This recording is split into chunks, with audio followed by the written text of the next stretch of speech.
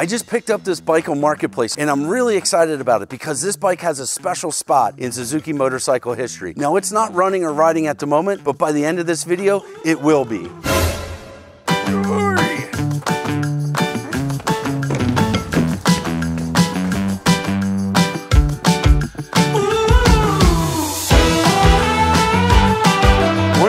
Reasons I like to get these things running is so I don't have to just push them around all over the place. All right, let's get that up here.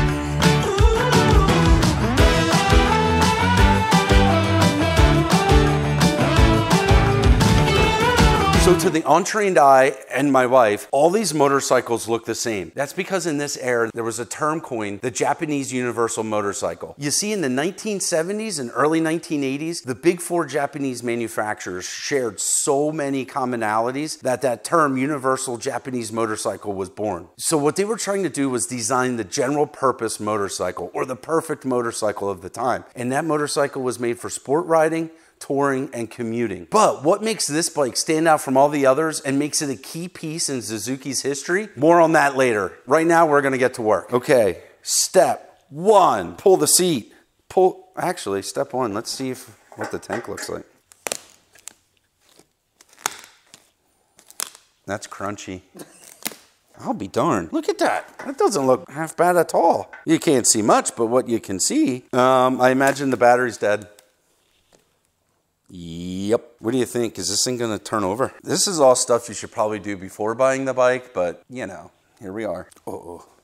Yeah, nice. Ah, yeah. It was a little tight there at the beginning, but oh yeah. Okay, I like that. Yoo, that's exciting. Okay, so we want to take the seat off, tank off, get to where we're going. That's tight as can be. Oh boy. So we got stuck carbies. I tell you what though, while we're taking off the seat and while we're taking off the tank, let's pull the spark plugs first and let's get a little down in those holes and help things loosen up and do stuff.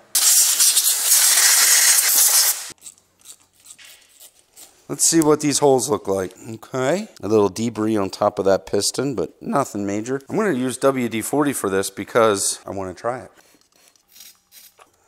This is like a, when you're cooking and you let your chicken marinate in the fridge overnight. This is like letting the piston and the rings marinate for a while in the, the goodness. So it makes this bike really cool and really awesome. The predecessor to this bike was actually the GT750, the Water Buffalo. That was a three cylinder, two stroke water cooled bike, right? This bike here, the GS750, was Suzuki's first large displacement four stroke. You see, the market was changing a little bit and Suzuki realized they needed a large displacement four stroke to stay relevant and this was their bike to do it. With which is absolutely amazing because this bike and this engine structure actually led to what today is the GSXR.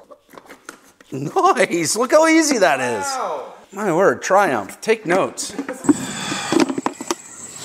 Those carb slides are done, locked up. Tell you what, I'm gonna pull these caps and we're gonna soak all this stuff while they're still sitting on the bike and I'll drain the oil and then while that's doing, I'll come back and I'll take the carburetors off. We'll start going through the carburetors and then while they're soaking, we'll get the bike to turn over and see if we have spark.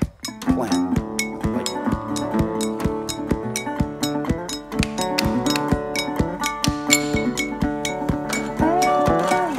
Spray some stuff in there. A little WD-40 is good. A lot of WD-40 must be Oh, look, see, look, already. Oh, nice. Do you know what I'd be tempted to do? I'd be tempted to see if we can get spark, drain this oil out, put some fresh oil in, see if we get spark, leave the carbs on, hit them with a little rum rum juice. yeah. we can't just get this thing to fire. And then step two. Dang.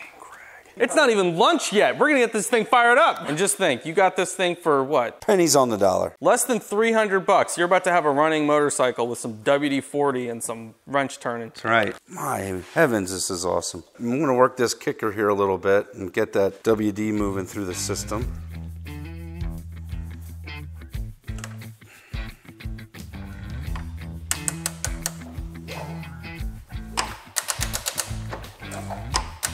Is it getting easier? It is. Nice.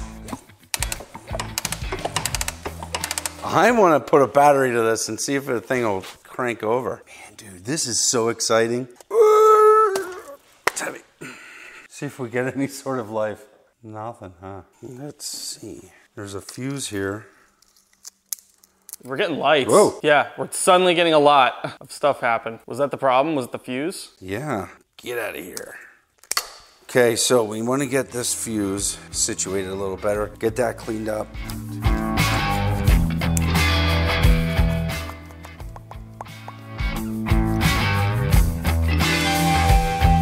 Dan, are you liking where this is headed as much as I am? You mean with a running bike? Yeah. Yes. Turn the key on again. We still got a light. Still got a light. Now, do we have anything? Still nothing. When in doubt, more cables. Mm, yeah, if electricity's the problem, Add more electricity. yes. That came right at my face.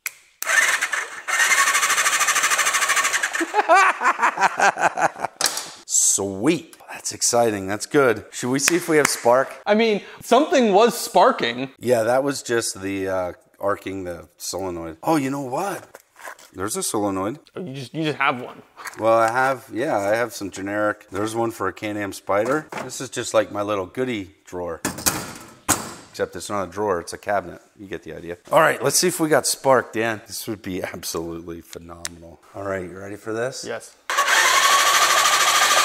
I don't see. any- I see a lot of oil coming out and no. spraying all over me. No spark. Okay, but we can figure that out. The the dock cover, DOC, do you know what that stands for, Dan? the hawk. dual overhead cams. This motor was basically designed after Kawasaki's, I think, 900 inline four. And like I said earlier, this is the predecessor to the GSX motor, which became then the GSXR motor. This was dual overhead cam, Suzuki's first attempt at their large displacement four stroke engine. And this is the early eight valve head. This engine configuration went on to be a 16 valve head in the GSXR motors, but this is the eight valve dual overhead cam engine. Honestly, in my opinion, probably saved Suzuki. Found the points, Dan. Points, points, points, points, points, points, points. Yeah. Love it. Yeah. I bet you we clean them points and we're gonna get spark. Yeah. I bet. You bet. I bet. Should we do it? Let's find out. When I saw this bike listed on Marketplace, I immediately wanted it. And the reason is is because it is a 77, which was the first year for the GS model. Suzuki started actually testing this bike in the US market at some select dealers, maybe late 74 into 75, and then they released this bike possibly late seven- 1976 as the 77 year model. I believe this was like a, a March of 77 bike. So this is one of the first bikes to roll off in this new model line. This bike changed a lot of stuff for Suzuki. It's really cool to save it. Hit them with a little starting fluid. Get them clean. I like using starting fluid because it uh, flashes off and evaporates really quick. So it's good for cleaning points. I'm gonna blow this off though, just so we don't have any residue starter fluid when it sparks. We all know what happens when you have flammable liquid around sparks. That's why I have two fire extinguishers hung up in the shop now, because Dan almost blew up my shop. Well, I almost blew up your shop. Nothing. Darn it. All right, let's see here. Okay, so we're looking for this set of wires here is going to be our start button, should be our start button and our engine start and stop. So let's see what colors we have. Kill switch, K I L L switch on is amber connected to amber white. And then start button on is yellow green to amber white. Let's test those switches. Start with the kill switch. Amber and amber white. Okay, so that would be orange and orange white. Basically. So we should have continuity here if this switch is working. Now you're hitting the starter switch. I'm hitting the kill button there. So then to do the starter button, yellow green to amber white. So yellow green to amber white. So we got some funky stuff going on in this switch. What does that mean, though? Well, Does that mean it's always on? yeah, that's what it was acting like for sure. Okay, well, now that's working. Okay, so let's try. WD-40 has been working so well for us. Let's try that. And we're gonna do that by just putting some in this down in here. Saying WD-40 is going to fix electronics? Yeah, I think if we just can get some in there and work this switch back and forth. Did it feel stuck, the switch? No, but there's probably some corrosion in there.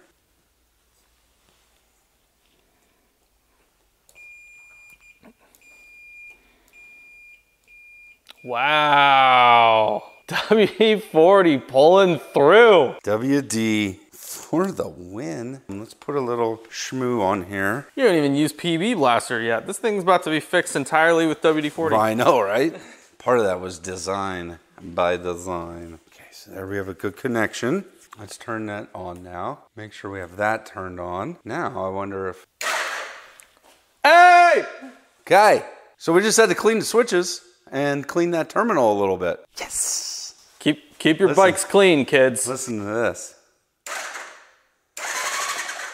Let's run this thing here through a pace or two. Nice. Any sort of spark out of here. Yeah. Yeah, No yeah, yeah, way. yeah, yeah, No way. Show me. Oh yeah. Oh, I see it. Yep. All right, now. Let's check spark. Oh my gosh, dude, this would be amazing. All right, Dan, hone in there. See if you can Oh, I'm ready. see if we get some spark. I'm looking. Yep. Yeah! Nice. No way. I got a crazy idea, Dan. We need spark plugs. These bikes were super popular when they came out. Like the dealers are saying that they couldn't keep them, right? And guys loved them because the 750 that was a pretty big motor back in the day. But they did that to equate moving from two stroke to four stroke. They had to increase the displacement in order to keep the powers the same. Because remember, back in the days, like the guys just wanted to go fast, right? So they were buying like the Yamaha RD350s and stuff like that. And then what what they did, like Suzuki and stuff, when they started switching over to the four strokes they almost doubled that displacement so that they could keep the same amount of power. And this engine, to give you guys an idea, this motor, the basic architecture of this motor, it was used all the way up through the GSX models, but guys are still using this motor today in drag racing. It's a really popular drag racing motor. So they'll actually, there's guys, NHRA drag racing guys that are using this engine, the cases, and even a worked crank out of this bike, and they're getting something like over 300 horsepower at like 14,000 RPMs, which is nuts. I mean, to give you an idea, this bike here currently redlines at like 9,000 RPMs. And those drag racing guys are getting this thing up to 14,000 RPMs. Oh my gosh. I'm so excited I can't even hang on to my tools.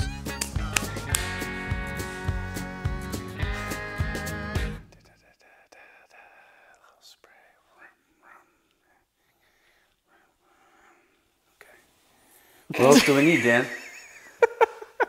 I'm gonna turn the switches on. I'm gonna fire it up. I'm gonna go vroom vroom. Fire extinguisher. Oh, it's. Oh, I got it. Yep, on hand. Look at that. Amazing. So yeah, now we it's just now here. It's watch this. Key on. I'm gonna hit start button and see, just make sure it cranks. Okay, You good? I'm good. You ready? I'm ready.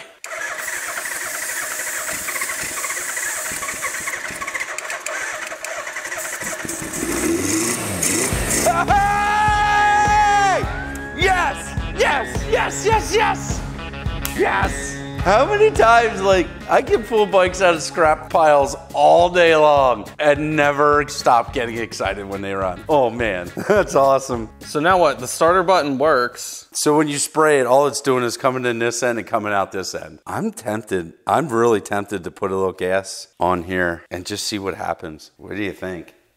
Let's let's hear it. Okay, let's do it.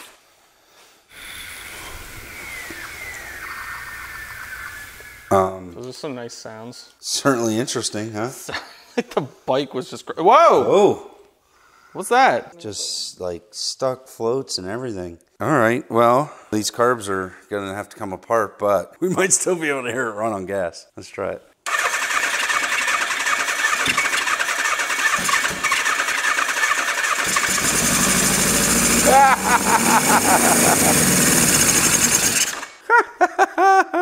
Be pickled tank. Mm, that's a fun smell. Isn't it? Mm. Is that going to be official Bearded Mechanic merch, like a, an aroma candle called Bike I Got Running? like cologne, like a man cologne bike I got running. That's funny. it's just gas flying everywhere. That's probably not good. Got the points open over here. Gas just flying everywhere. Ay, ay, ay. All right, well, the good news is that airbox goes on easy. Yes. Let's make sure this bomb is turned off. So much for not making a fiery mess today. Let's make safe decisions today, Dan. You stay there until you fall off. Let's get some charge back into this yammer jammer. Keys off, all's that. Da, da, da, da, da, ba, da, ba. Let's pop these carbies off and see what happens. There we go. Oh, that's interesting. That one looks completely dry there yet.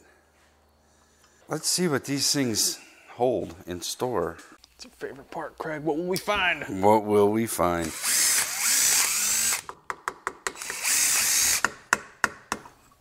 Look at that. That one there. Wait, what? This one didn't have a float bowl gasket. Could that be a problem? Well, it's certainly going to be leaky without that. How are we missing a float bowl gasket? Doesn't look horrible, actually. Okay, let's just pop these all apart really quick. Oh, look at that. The main jet's screwed out. I'll be honest. That's This, been our main problem. that, that was a would have been a, a big problem, yes. Actually, it almost looks like like those jets and these needles and seats were replaced. I don't understand why we're missing a gasket. Somebody done screwed up, plugged up.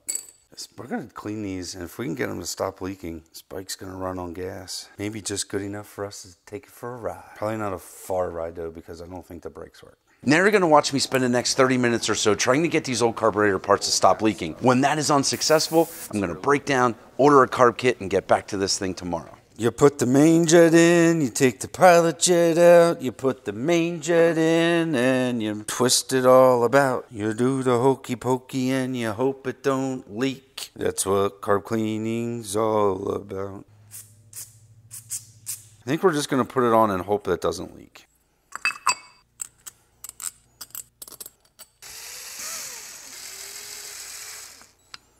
Okay, now before we put them back in the bike, what we're gonna do is put them here, stick them here on the bench. I'm gonna get my gas bottle that has gas in it. We're gonna hang this up here. We're gonna put the fuel line on here. Now we're gonna turn this on and see if gas pours out again. Dang it, gas is pouring out again.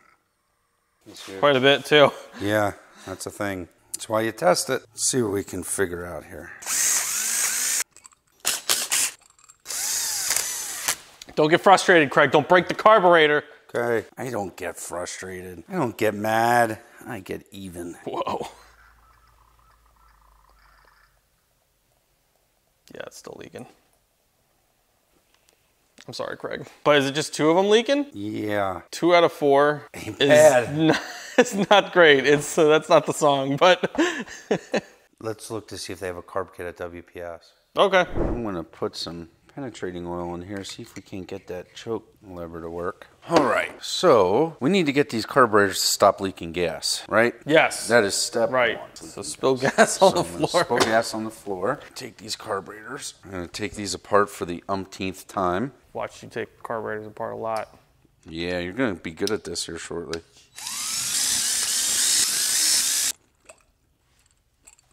We're gonna put a gasket in here because I believe this is the one that didn't have a gasket, right?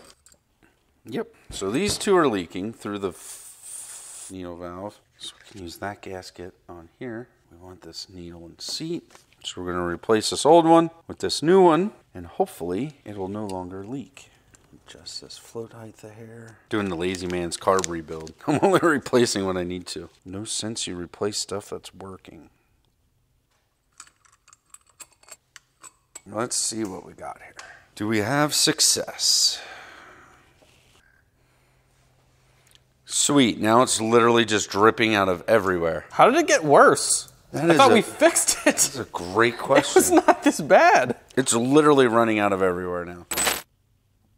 Clean out the vents or the uh, the drain. At least if I do this, it'll drain out of the uh, overflow instead of just out of every hole in the carburetor. There we go. How badly clogged were those when we just started? Okay.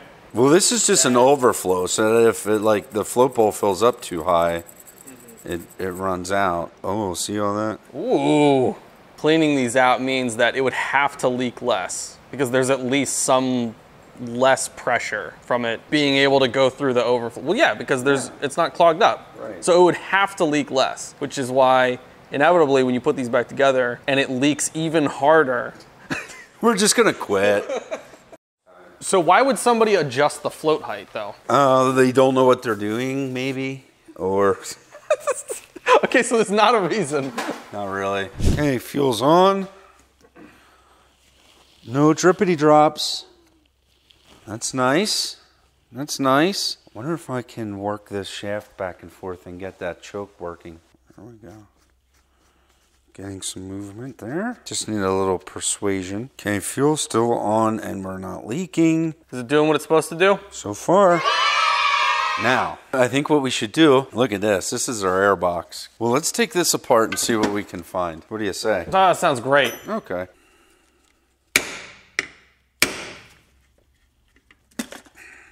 I'll be darned. What? It's actually not too bad. Look at that. Somebody replaced an air filter. I would say that's good. We're going to pull it off though because there is a bunch of insect nests in there. So we're going to clean that out a little bit. Slide this out. Look at that. We're going to blow this nonsense out.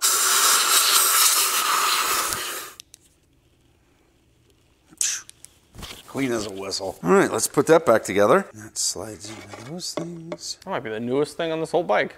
Could be.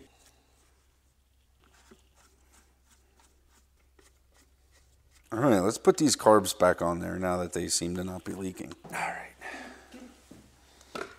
Pink. Let's tighten these up.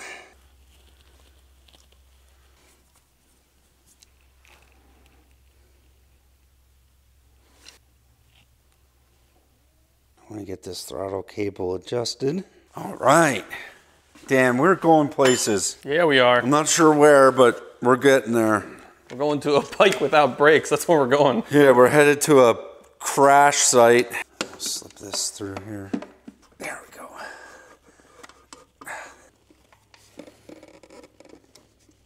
There we go.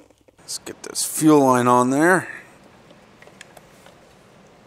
There we go. Fuel line on. Fuel flowing. Dan, we're gonna see if we can't get this thing to run on gas, on its own, and do stuff and things. Motorcycles are supposed to do stuff. They're gonna do stuff and things. Yo! What? Right away! Ah! Ooh, this thing's purring like a kitten. Meow. I savored this moment while it lasted because I still had to figure out how to make this thing rideable. There's stuff flying out of the exhaust, but that's okay. Oh, pickled tink is what I am. Tickled pink. Tickled pink.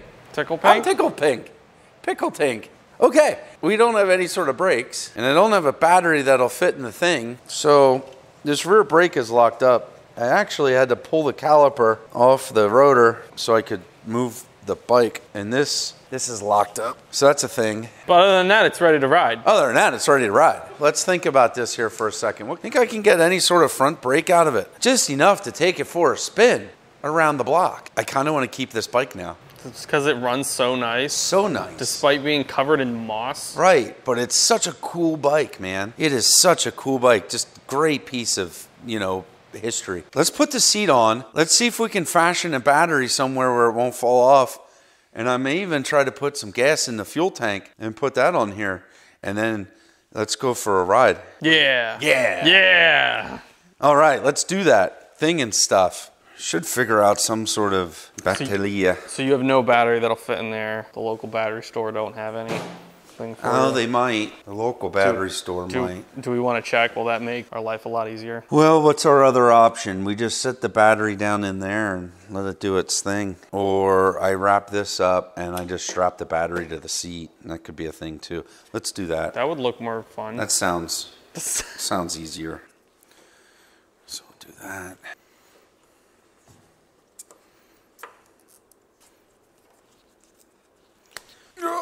It's heavy. Seat is heavy. There's nothing better than taking an old bike like this, getting it fired up. It actually runs, I mean, it sounds pretty decent. Now, obviously, it needs a lot of work, but think of it this way, man. We just saved another bike from the scrapyard. We just saved another bike from being a parts bike. Somebody can go through here, doll this thing up real nice, and actually have something worth having when you're done. Ship shape, Dan. Ship shape. Pour gas in there and see what comes out. About at it with that.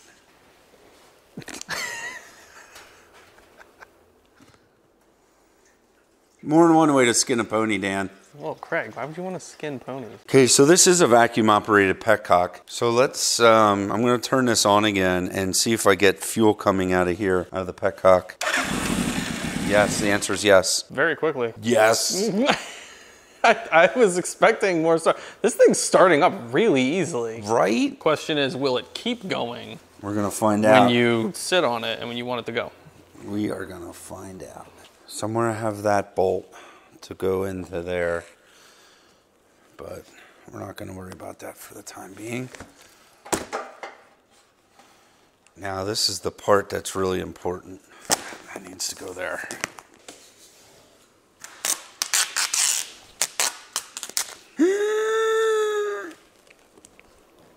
Heave ho, Craig.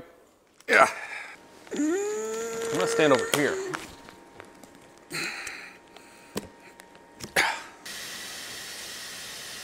I'm excited. Are you excited? So excited. All right. It's got some rolling resistance. It'll be like driving with the parking brake always on. Right. Okay. Main voyage. We're not to go far. We're just to see if we can stop and shift. Oh, I'll be darned. Thing runs good. Oh, oh, we got gear indicator. Look, we're in first. Oh my gosh, things work on this bike. How cool is that?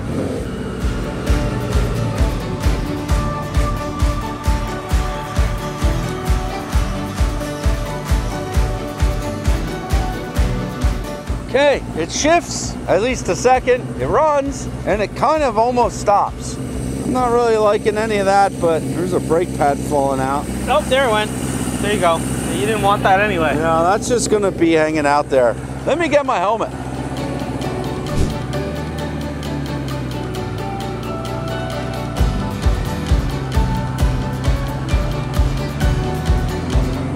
Second gear, third gear, any sort of, okay, we got a little brake.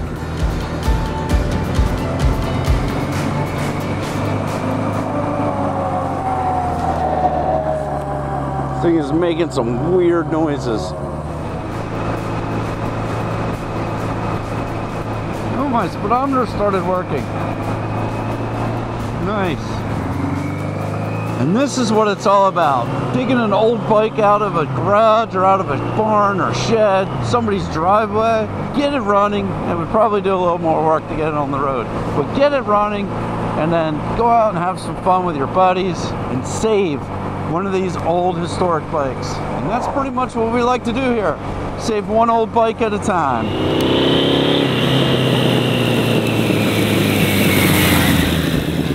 Now to see if we really.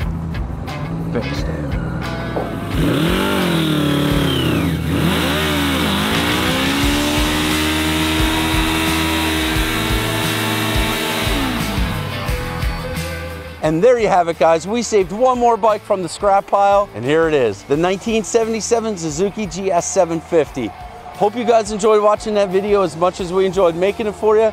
Check out one of these two right here. I know you're gonna love them.